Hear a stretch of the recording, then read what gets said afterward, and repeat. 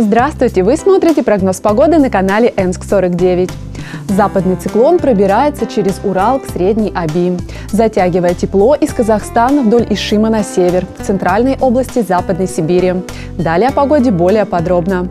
В Новосибирске 2 февраля ожидается снег, на дорогах местами гололедица. Ветер южный 3,8 метров в секунду. В ночные часы температура воздуха составит минус 10-12 градусов. В светлое время суток синоптики прогнозируют 5-7 ниже 0. В последующие двое суток осадков не ожидается.